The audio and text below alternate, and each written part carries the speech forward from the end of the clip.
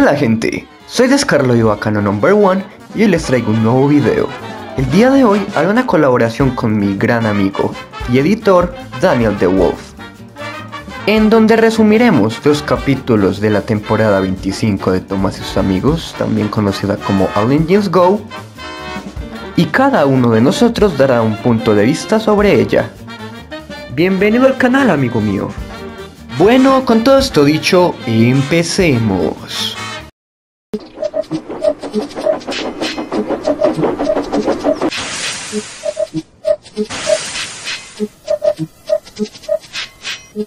El capítulo que yo resumiré se titula Licencia para entregar. Este capítulo empieza con Thomas jugando a que es un espía. Está dando vueltas por todos lados, jodiendo la vida, diciendo puras mamadas, hasta que se encuentra con Percy. Entonces empieza a hablarle de puras mamadas de espías a Percy, pues Percy como un pelotudo lo empieza a escuchar. Percy le dice que no tiene tiempo para jugar a Thomas debido a que tiene que entregar una bombilla, pero aún así Thomas lo convence. Diciéndole que mientras iban a entregar la bombilla iban a jugar a ser los agentes secretos. Así que emprenden viaje diciendo que su supermisión secreta es entregar la bombilla. Entonces Percy se disfraza de argentino con gafas y Thomas se disfraza de... de...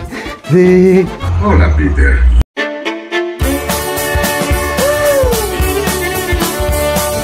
Porque claro, los espías deben de estar encubiertos. Aunque aparentemente no funcionaron mucho esos disfraces ya que James los reconoció, pero aún así los siguen usando. Y bueno, en el camino Thomas le dice a Percy que los espías necesitan artefactos de espías, valga la redundancia. Entonces van donde Sandy y Sandy les hace unas cosas para que se comuniquen con el vapor. Bueno, para que hablen en clave morsa, digo morse. Clave morsa XD. Y también les da un artefacto que es súper secreto a tal punto de que ni siquiera la creadora que es Sandy sabe qué es. Después de todo esto vuelven a emprender el viaje y pasan por la estación Knapford, en donde se esconden para que nadie los mire. Porque claro, los espías siempre deben de estar encubiertos. Y bueno, en este transcurso pasa algo que la verdad es que no es muy necesario para la trama, pero se quitan los disfraces y siguen el trayecto mientras Percy se queja de la oscuridad. Después de esto, Thomas y Percy intentan pasar un lugar en donde hay muchas vacas e intentan no despertarlas, porque claro, los espías siempre van encubiertos. Y sorprendentemente no despiertan a ninguna vaca. Luego se encuentran con Diesel, que estaba contemplando las vacas, el cual escucha un sonido y pregunta que quién está ahí. Thomas y Percy en el afán de que no los escucharan ni nada, se escaparon lo más sigilosamente posible. Y Diesel no los descubrió. Y algo a recalcar de esta escena es que aparentemente en este reboot Diesel tiene un fetiche con las vacas XD. Después de esta escena, Thomas y Percy siguen su camino, hasta que se encuentran con un túnel y Percy le da miedo de la oscuridad. Entonces, Thomas le canta una rolita para que se calme. Un diablo se cayó al agua y otro diablo lo sacó y otro diablo que pasaba dijo que diablos pasó. Y después de la épica escena de la rolita cantada por Thomas y Percy, llegan al lugar en donde necesitaban la bombilla que resulta ser el faro. Y después de que su supermisión secreta haya sido cumplida, se dieron cuenta que jamás abrieron el super artefacto dado por Sandy.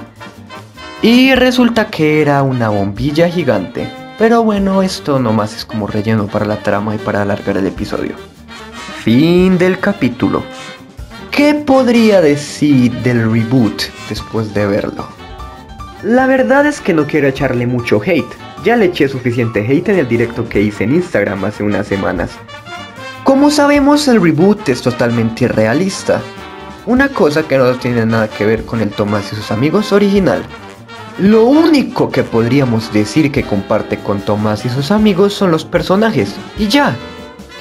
Algo que me pareció un acierto de Mattel al hacer este reboot fue que, por ejemplo, buscas en Google Thomas y sus amigos y te va a aparecer que acabó en 2021.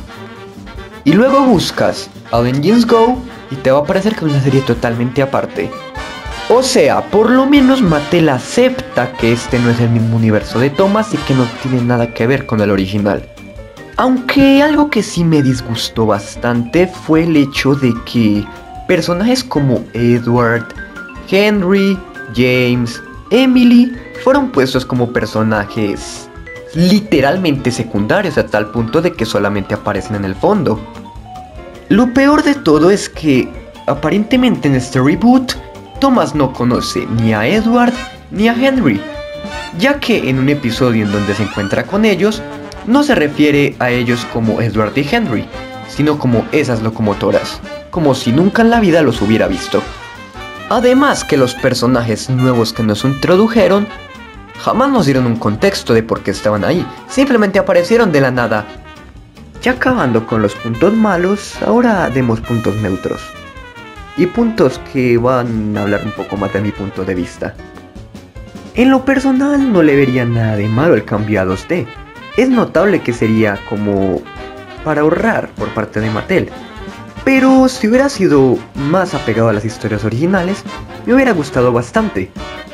Aparte que, aunque le dieron mucha libertad de movimiento a los personajes, y pueden hacer caras y movimientos que no se podían hacer en el CGI o en los modelos, me parece que aún así no está para nada apegado a lo que es Thomas y sus amigos.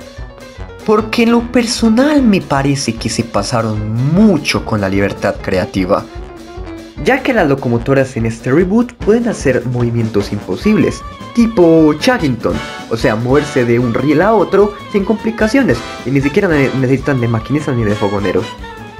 O sea, en otras palabras, las locomotoras se hicieron como seres totalmente independientes. Mi recomendación al ver este reboot es que no lo vean a los ojos de que, ah no, arruinaron Thomas, oh no, ¿qué pasó con mi serie de la infancia? Porque mi amigo, esta no es la serie de tu infancia. Lo único que comparten son personajes. De resto es algo totalmente diferente. Te recomiendo que lo veas mejor como un Chuggington 2, si es que me entienden. Y eso que, de hecho, me pareció un poco más entretenido este reboot que Chuggington. Si lo ves desde ese punto de vista, probablemente hasta te lleguen a interesar algunas historias de este reboot, como me pasó a mí. Ya que no voy a negar que aunque este reboot esté jodidamente infantilizado, algunas historias me llegaron a llamar la atención, ya que, pues la verdad es que hay historias que son eh, entretenidas más o menos. Bueno, este es mi punto de vista. Ahora sigamos al punto de vista de mi querido amigo Daniel The Wolf.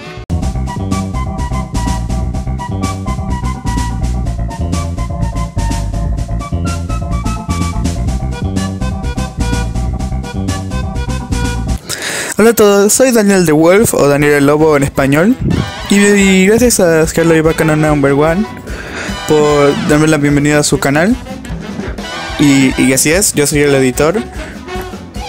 XD.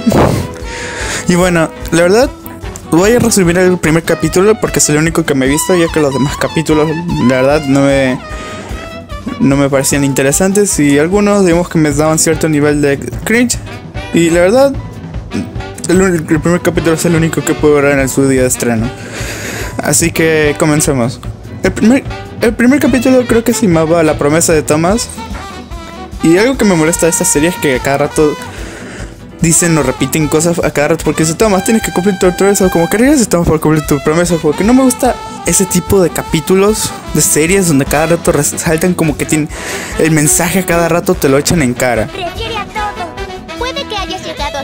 Diesel, pero Thomas cumplió su promesa. Gracias, Thomas, por cumplir tu promesa.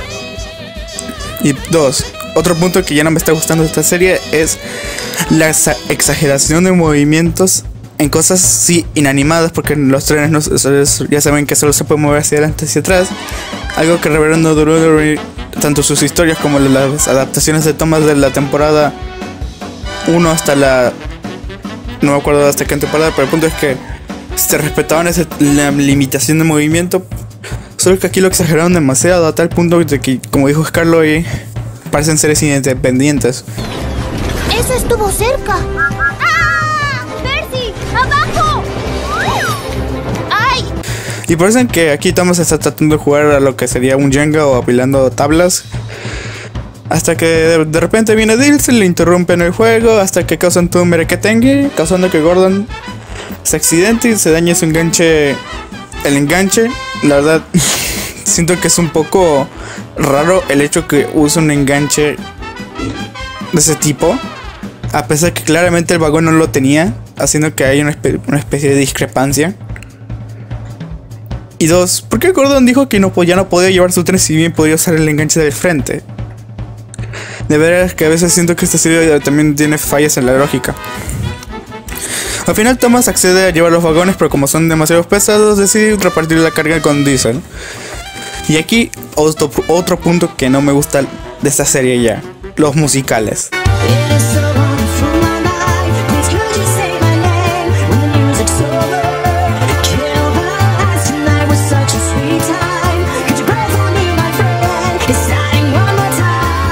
Después de todo ese musical, Thomas tiene presente algunas complicaciones al, al llevar la carga. Por ejemplo, que Diesel lo cambia de vía, que de, repente las cosas se le empiezan a caer. Y al final Thomas termina estrellándose en el lodo. Y hay otra cosa que no entiendo es por qué Carly, que es la grúa esa que está en, como personaje de esta serie, se supone que la serie anterior, o sea, la temporada anterior, ya no se presentaron a este personaje como una grúa. Y aquí ahora lo han convertido en una grúa con ruedas. Que por cierto, ya, y a mí no se me hace sentido que haya una especie de bloque con ruedas. La verdad es que digo que esta serie pierde todo el sentido. Y la lógica del universo ya presentado. Ahora yo entiendo la incomodidad de algunos usuarios hasta antiguos del, del fandom al ver esta nueva serie. La verdad, no me gusta. Y el final del capítulo, Thomas aprende la lección de que bla bla bla, las promesas y ya.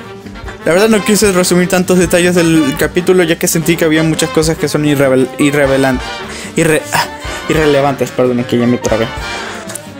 Bueno, mi opinión, concuerdo con ese Carludy de ver, no ver esta serie como, como que, ay no, arruinaron la serie de mi infancia. Ya que la verdad yo ya también ya le eché bastante hate. Bastante hate, pero la verdad hay que ver las cosas positivas.